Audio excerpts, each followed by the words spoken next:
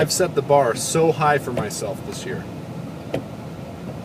When it comes to athletics, I've never set the bar this high. Not even close.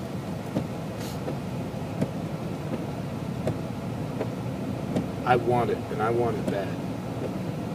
I want to succeed for the individuals that I play for. I want to succeed for myself and my family. I want it.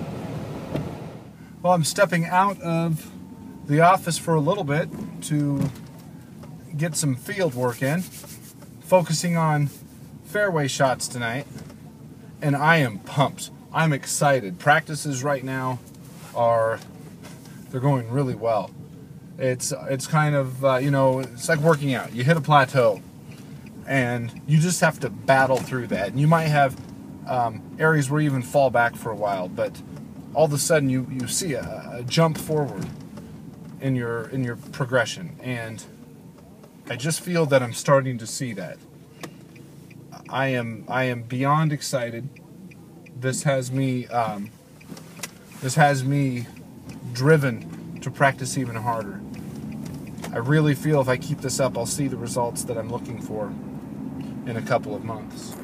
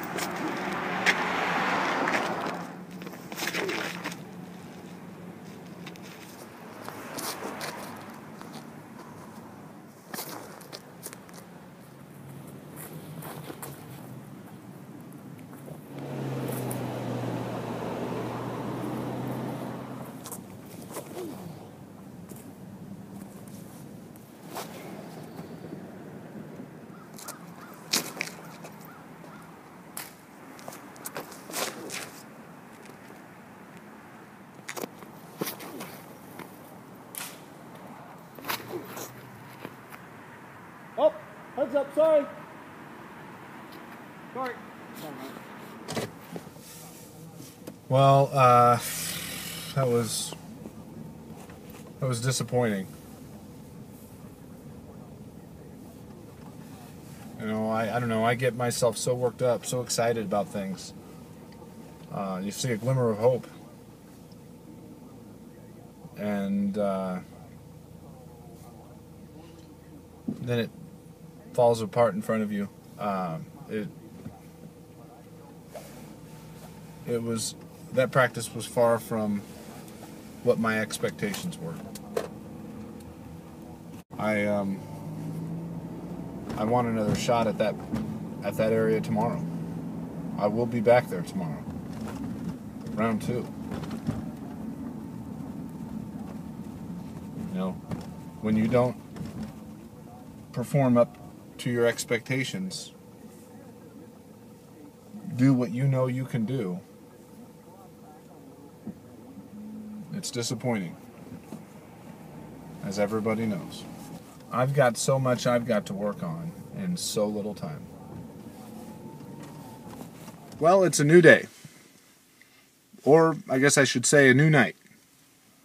It's time to put yesterday's fairway practice behind me and uh, focus on redemption. It's time for another shot. It's time to get after it.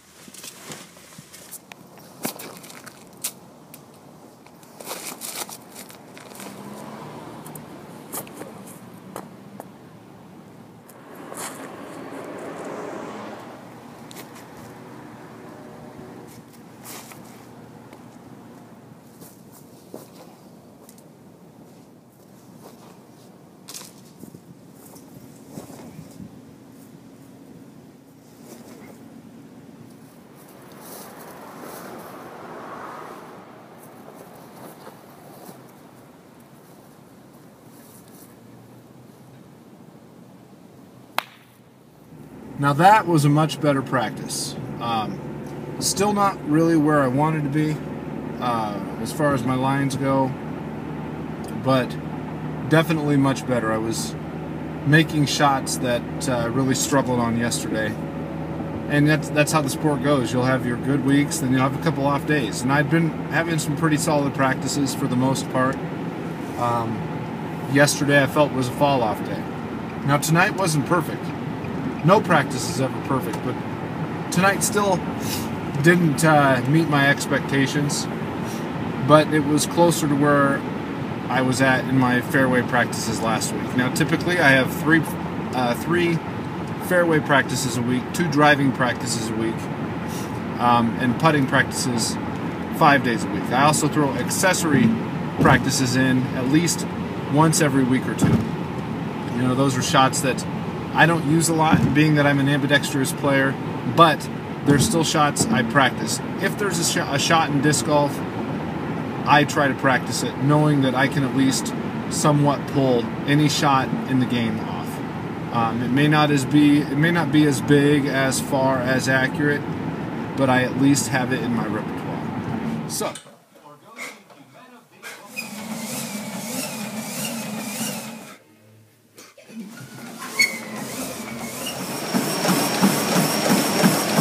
This is my least favorite part about getting ready for the season and staying in shape during the season. It's almost midnight.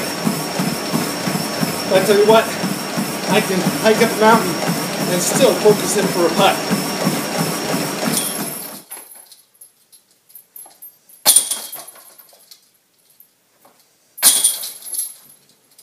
It's Friday, December 5th, early in the morning.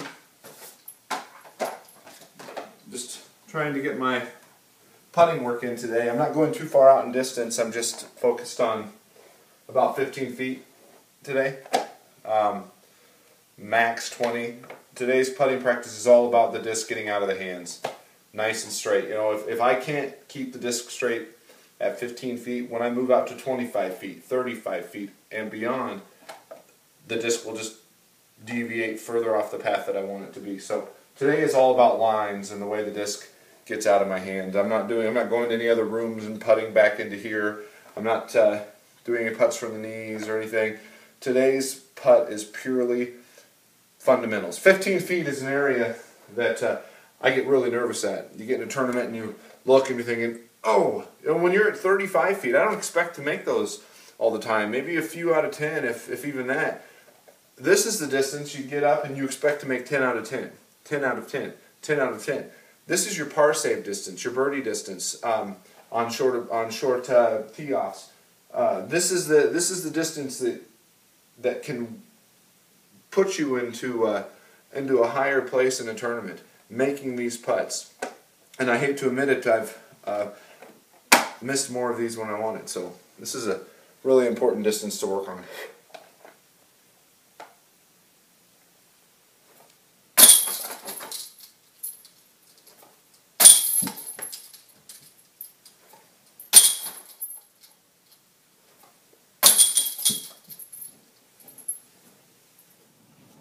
Well, um, here I am. Uh, it's time. This is fairway practice, uh, I think four on the week. Normally just three, but um, I'm putting myself through a challenge. All difficult fairway work, fairway work all week this week. Right hand versus left hand. Um, no gimmies. So um, this is my champ. It's, chance. It's gotten a little bit better every day. Hopefully today. Um, Today will be the best one of them all. I know it will be.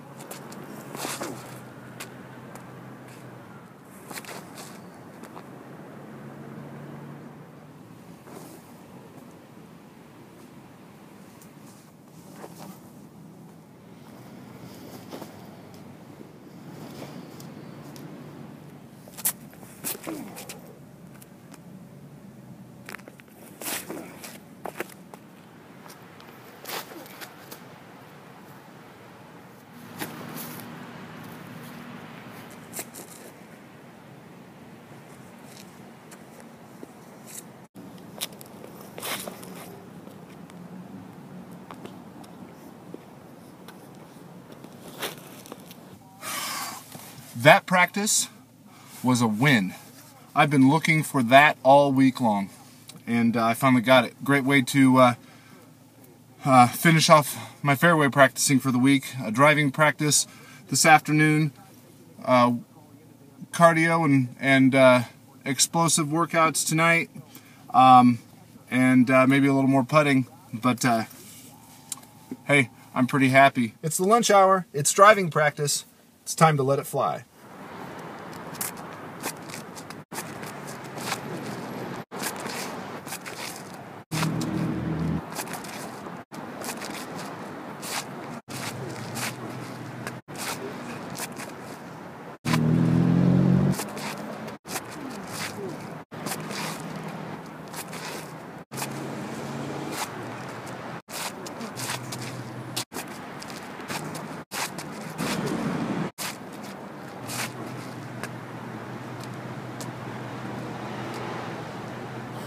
Well, that um, that was an okay driving practice.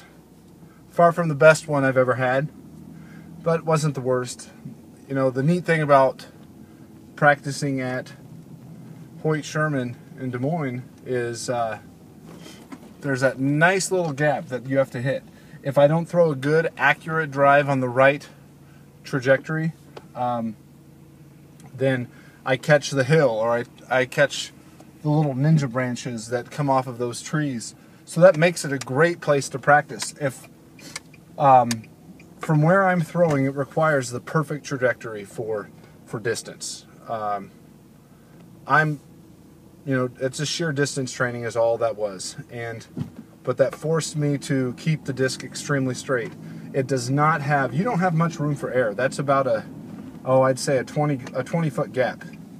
Um, if I can hit that on majority of my drives, then I'm in good shape when it comes to playing on a majority of the disc golf courses in the world, around the world. Um, and now, of course, you have your tight courses, but this just makes me better. If I can keep it accurate and straight at max power, then I'm able to scale back and um, and keep my keep my throws accurate all driving practice to me is distance knowledge, knowing how far I can throw it. So if I think I can attack something, I know whether or not I if I've got it or not, or if I just need to throw a good shot to set myself up for a, a little chip shot into the green. Main problem I had in that practice was a little bit of of OAT or off-axis tilt. It's what happens if you try to throw it too hard and you turn it a little bit. So I was just over over cranking, but I was able to to fix that and um, so I'm happy. I'm happy. My distance was was good. Um, accuracy was good.